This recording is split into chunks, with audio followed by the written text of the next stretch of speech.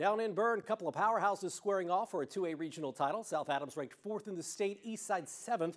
Top of the fourth Blazers down, not out. Elodie Bishop with a double to score Emily McLean. Game tied at three, but in the bottom of the fourth, same score. Reagan Bolenbacher on third, and the throw here gets away. Bolenbacher scores. Starfires lead 4-3, and that would be your final. South Adams winning 4-3. And in 1A, it's Fremont beating Southwood for the regional championship by a final of 5 to 4.